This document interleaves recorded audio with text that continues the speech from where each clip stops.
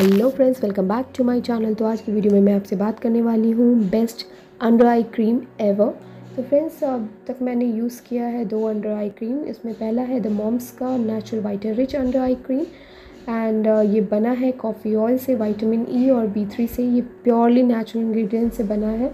और द मामा अर्थ का bye bye dark circle under eye cream ये दूसरा क्रीम है. मैंने लास्ट मंथ ही इसे ऑर्डर किया है. और ये बना है कुकुम्बर से और पेप्टाइड से. और दोनों का ही मुझे क्लियरली विजिबल इफ़ेक्ट मिला है। तो फ्रेंड्स ये दूर करता है हमारे डार्क सर्कल्स को रिंकल्स को ड्राइनेस को पफिनेस को और फाइन लाइंस को। मैं इसे सिर्फ़ एक टाइम यूज़ करती हूँ रात में। आप चाहें तो इसे दो टाइम भी यूज़ कर सकते हैं अगर आपका आपका डार्क सर्कल ज़्यादा है। मेरा थोड़ा है, इसलिए मैं सिर्फ़ एक टाइम ही यूज़ करती हूँ।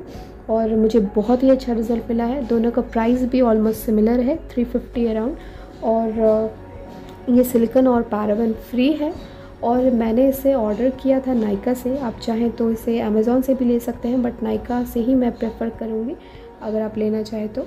और the mom's co natural vita rich under crime under cream है। ये एज अ पम्प की तरह काम करता है। ये इसमें इसमें पम्प होता है जिसे आप uh, उसे प्रेस करके और अपने आइज़ के एरिया में सर्कुलर मोशन में अच्छे से लगा ले। दो तीन मिनट तक इसे अच्छे हल्के हल्के हाथों से मसाज करें।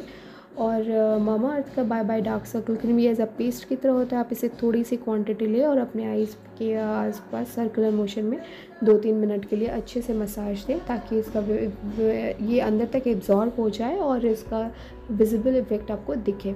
तो ये इसका इफ़ेक्ट मुझे सेवन टू एट डेज़ में हल्का हल्का दिखना शुरू हो गया था। मेरा अंडर आई क्रीम ज़्यादा। अगर इसमें आप बेस्ट पूछें तो मुझे the mom's co natural vita rich under eye cream ज़्यादा पसंद आया।